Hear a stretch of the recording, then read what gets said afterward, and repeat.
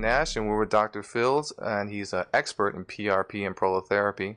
Now, we're going to ask Dr. Fields why is he the best doctor for you? I'm both a board certified medical physician and chiropractor, actually, only one of a handful in the United States with both those certifications. And what are the types of people that you work with, and how have you helped I see them? a lot of people who've been told that surgery is the only option. Occasionally, we have people who have been told that surgery cannot even help them, their joint is too far gone.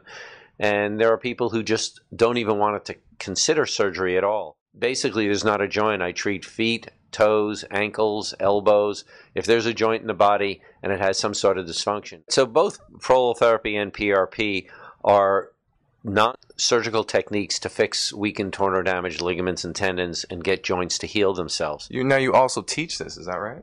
Yes, um, I'm one of the uh, lead instructors with the Hackett Hemwall Foundation. Teach these doctors the techniques uh, in prolotherapy, and we have three clinics there, and I'm actually the director of one of the clinics down in Honduras every year. This man knows his stuff. This doctor. Athletes like Kobe Bryant, multi-million millionaires who their cities depend on, are using PRP, and their blood is healing itself. There's injections. Please uh, explain to our viewers as well. Well, yes, Kobe Bryant, Tiger Woods, uh, many other famous athletes have used this. Basically, PRP is what we call an advanced, or PRP prolotherapy is an advanced form of prolotherapy.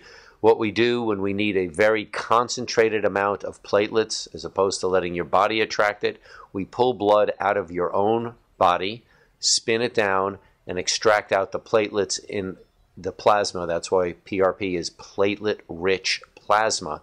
And then we re inject that back into smaller areas, such as an elbow or a knee. You don't have to go to Germany or Canada for this. You can you can come right here to Dr. Fields. He's in Santa Monica. Doctor, please tell us what makes you so athletic? I had an MRI. I showed it to three neurosurgeons who all agreed that without surgery, my athletic days were over and I'd have even trouble walking. I've done eight what are called 70.3 or half Ironman triathlons.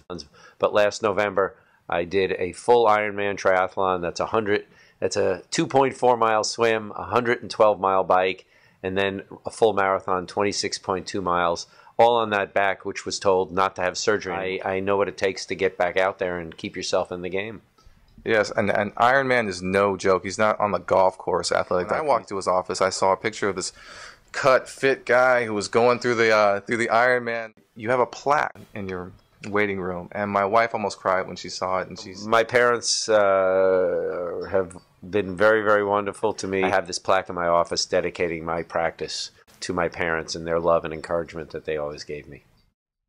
okay. I'm convinced. Before you have that expensive, uh, risky surgery, please come in and see Dr. Fields. Check out his website. And again, yes, if anybody wants to see me, I'm in Santa Monica, California. Again, it's and the phone number is an easy one. Even I can remember it at 310 453 1234. Thank you very much for having me here today. All right, and thank you for watching. This is Johan signing off.